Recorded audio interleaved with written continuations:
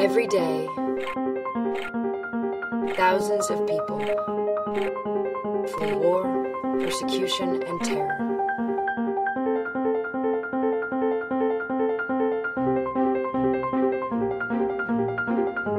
I'm Matthew. I'm Talia. I'm Elizabeth. I'm Shojiro. I'm Ayaka from Japan. From Iran. United States. Pakistan. And I believe. I believe. One refugee without hope is too many. One refugee without hope is too many. One refugee without hope